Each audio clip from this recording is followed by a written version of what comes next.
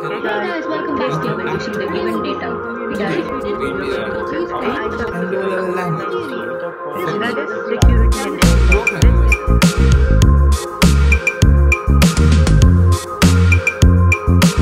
This is your first time here in this channel. It's all about educative stuffs. So don't forget to subscribe, ring that bell notification to get instant updates, smash that like. Hello guys, I am Hamsavadan from Code4. Today we'll be solving an IGCSE Computer Science Theory past paper. To the first question. L has a file stored on a computer that is 20 MB in size. Jordan has a file that is 10 GB in size. Tick to show which is the larger file. Obviously gigabytes is larger than megabytes so there's a tick on 10 gigabytes. Bob has a file stored on his computer that is 3500 KB in size. Gretty has a file that is 3 MB in size. So when we convert to KB, it is little close. So we have to find the actual value to know which one is larger. 3 megabytes in kilobytes would add up to 3096 that is 3096 kilobytes because we have to multiply megabytes into 1024 to get the kilobytes. Obviously 3500 is larger than 3096 so there is a tick on 2500 KB. Second question. Many computer systems have an input device and an output device. State what is meant by an input device. An input device is a device that allows data to be entered into a computer. Examples of it include keyboard, mouse, etc. B subdivision. State what is meant by an output device. An output device is, an, is a device that allows user to view or hear the data that has been entered into a computer system. Examples monitor and printer. Third question. A long distance running race uses an electrical counter that counts each competitor who finishes the race. The count is stored in a 12 bit binary register. The binary value of the count is displayed on the screen above the finish line. The screen currently displays 0039, that is 39. State the binary value that is currently stored on the display stored to display the count shown. An easy method to do solve these types of questions is to create a table like this, which contains squares of 2 because it is binary. There is 2 to the power 0, there is 1, 2 square 2, uh, 2 to the power 1, 2, 2 to the power 2, 4, 2 cube 8 and so on. So you have to create one like this and uh, and put zeros and ones correspondingly. So our question is 39. So the closest number that is not larger than it is 32. So put a 1 on it. Then check for 16. It will go above 39. So we have to leave that. And even adding 8 to it, that will become 40. So we, we should not add that. Adding 4 would give 36. Then adding 2 again will give us 38 and adding 1 at last would give 39. You have to remember in a way such that whenever we use 1, those numbers are added together to produce the binary value. So after that, fill the other values with 0, other places with 0 and you get the binary number. But I have used just a 10 bit number for simplicity. Just adding two before two zeros before them would give you a 12 bit binary number. Then A2, uh, similar question, but with 350 as the value. So the number that is uh, most close but less than it, that is 256. Adding 128 would go more than 350. So we add 64. So we get 320. Then adding 16 would get th- we'll get 336. Then when we add 4, we get 340 adding 2 would uh, we'd get 342 actually we are also adding 16 so we get 350 this is how to solve these kinds of sums. At the end of the race the binary value stored is 0 1 1 0 1 1 0 0 0 1 1 1 when you create a table like this and put all values here you can calculate the corresponding values by top. When you add those values as I've shown here, you get the correct answer in decimal. Then moving to the B subdivision, sensors are used to finish sensors are used at the finish line to identify the number of competitors to who finish the race. Identify two different sensors that could be used to identify the number of competitors. Sensor 1, it could be a light sensor and sensor 2 could be a motion sensor. The sensors are used with a microprocessor to count how many competitors finish the race. Explain how sensors and microprocessors are used. Se most of the sensors questions can use like most of the answers for the sensors questions can be this. Sensors send signal to microprocessor. Signal is an analog, so it has to be converted to digital using ADC, that is analog to digital converter. Data is compared with the store value. If data does not match or a signal is detected, the counter is incremented by 1. Moving to the fourth question. Darius is writing a computer program that allows binary values to be calculated. Darius chooses to write the program in a high level language rather than a low level language. Explain why Darius chooses to write the program in high level language. Because it is closer to human language and easier to read, write, and understand. Darius will use a translator program translator to translate the program. He could use a compiler or an interpreter. Five statements are given about compilers and interpreters. Tick to show if, if the statement applies to a compiler or an interpreter. Statements may apply to both. First, a report of errors is produced at an end of translation. That would be a compiler. The program is translated one by line one line at a time. That would be interpreter the program is translated from high level language to machine code. It could either be a compiler or an interpreter, so two ticks on both of them. An executable file is produced. That will be a compiler. The program will not run at all if an error is detected, and that would be a compiler. For more information about this, visit chapters related to that.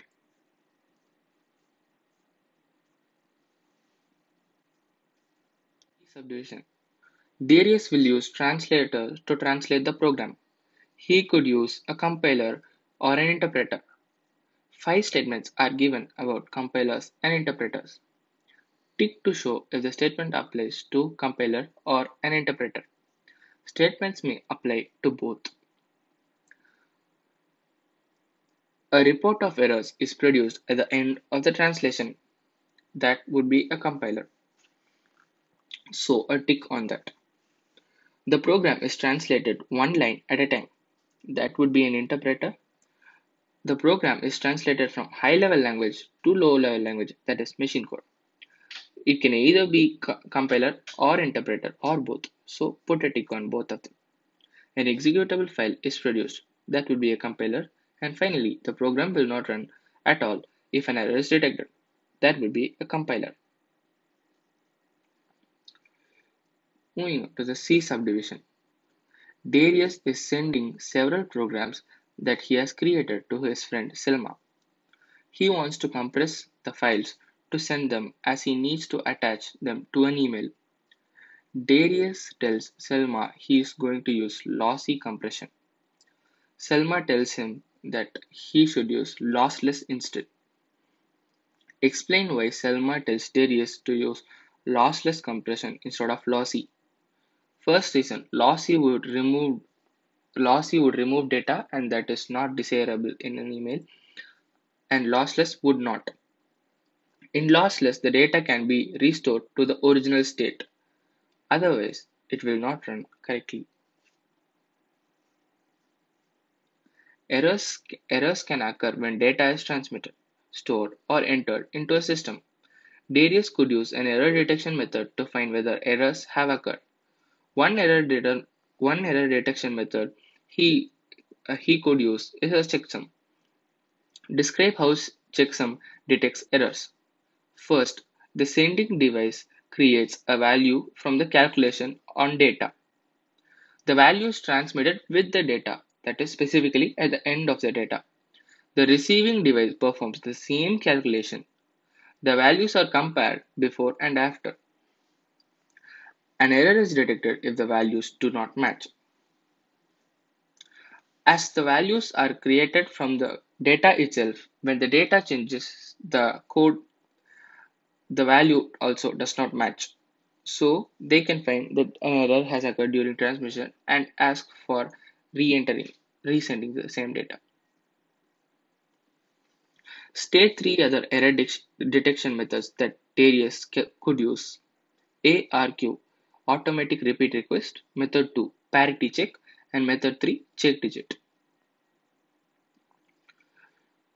The fifth question is about logic gates. Consider the following logic statement. A. Draw a logic circuit that represents the logic statement. Yours, your logic gates must have maximum of two inputs. Do not simplify the logic statement. So first,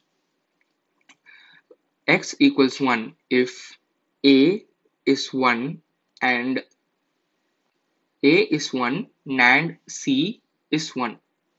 So a has to be 1 so it is already 1 so it is connected to a NAND gate. They have mentioned.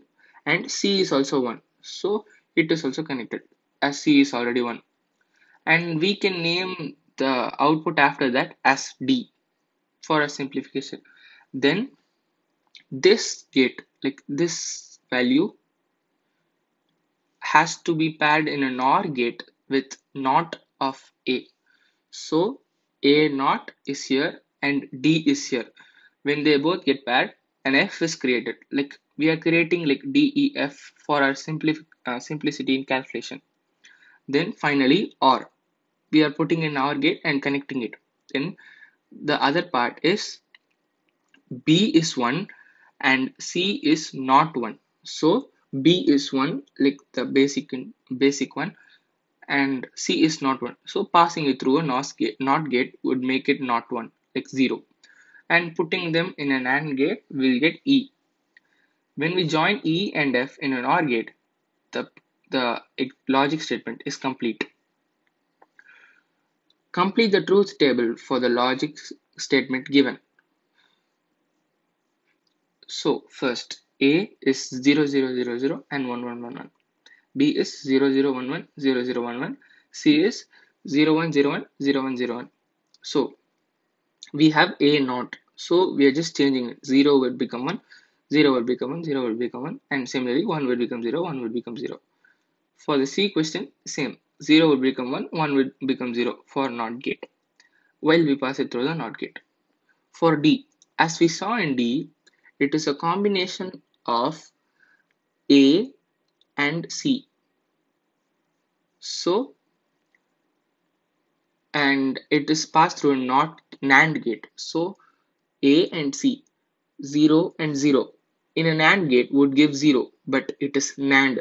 So, the AND gate should be, uh, the value from AND gate should be passed through a NOT gate. So, the value 0 would change it to 1. Similarly, passing these both to an AND gate would give 0 and it has to be passed through a NOT gate so it becomes 1. Doing the same for rest of the other parts would give this that is D. Next moving to E. E is a combination of NOT of C and B. So NOT of C is this part here and B is here. When we add these both it is like 0 and 1 passing through an AND gate would give 0 0 and 1 passing through an AND gate to 0 1 and 1 passing through an AND gate would give 1 so like uh, doing the similar things would give this. Then F. So F is a combination of not of A and D so we have mentioned not of A and D in an OR gate. So these two in an OR gate would give 1 but as it is a NOR gate it has to be passed through a NOT again so it will become 0 again and here there is a 1 so it becomes 1 and again passing through a NOT gate would make it 0 and repeating this would give this and finally F or E to get the X. It is to get the X, F and E are passed through an OR gate. Finally, 0 and 0 would give 0, 0 and 0 would give 0, 1 and 0 would give 1, 0 and 0 would give 0, 0 and 0 would give 0, 0 and 1 would give 1, 1 and 0 would give 1, and finally 0 and 1 would also give 1. The answer matches with the answer in the answer key. So this is the right answer.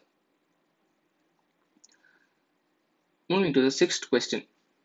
Nadia purchases a printer to print out her homework. She connects the printer to her computer using USB. Explain what USB is. USB is Universal Serial Bus. As suggested in the name, it uses serial transmission. So that would give us a point. Then it is universal standard that is most people use it. So that is a point. And last one, it is a data transmission method as we all know. B subdivision. Nadia's printer uses uses powdered toner rather than liquid ink. State the type of printer that Nadia has purchased. That would be a laser printer. Give two benefits of using this type of printer. Benefit 1. It prints at faster speed. And benefit 2. It cheaper printing cost like it is less costly per page but it is expensive to buy the toner and that would become a drawback. Toner is similar to a cartridge for an inkjet printer. C. She uses Nadia uses several types of computer storage for her homework and other projects. Five examples of computer storage is given. Tick to show if the computer storage computer storage is primary, secondary or offline. SSD that is a secondary storage device, Blu-ray disc that is an offline, USB flash memory that is a pen drive essentially, it is also offline, RAM random access memory it is primary, and ROM read-only memory is also primary. Nadia is considering to the next subdivision. Nadia is considering purchasing a magnetic storage device. Describe how a magnetic storage device stores data. Storage device has platters. For example, HDD hard disk drive. It is a magnetic magnetic storage device. Platters or disks are divided into tracks. The storage platter is spun. It has read-write arm that moves across the storage media very quickly so it can access all the parts. Read and read writes data using electromagnets uses magnetic field to control magnetic dots of data and the magnetic field determines the binary value. Third subdivision. Give two advantages of using magnetic storage rather than a solid state storage device. More longevity and cheaper unit per data. To the final question. Arya regularly uses internet as a research tool for her school projects. Identify and describe three risks to Arya's computer when she is using the internet for research. Risk 1 Hacking. Hacking is when a person tries to gain unauthorized access to a computer system. Data can be deleted or corrupted by the hacker. Risk 2 is malware. Malware is a software program designed to damage or disrupt the computer system and it replicates itself and fills the hard disk. Virus Virus is a program that replicates itself to damage or delete files. And that's all with this past paper. Thank you for watching.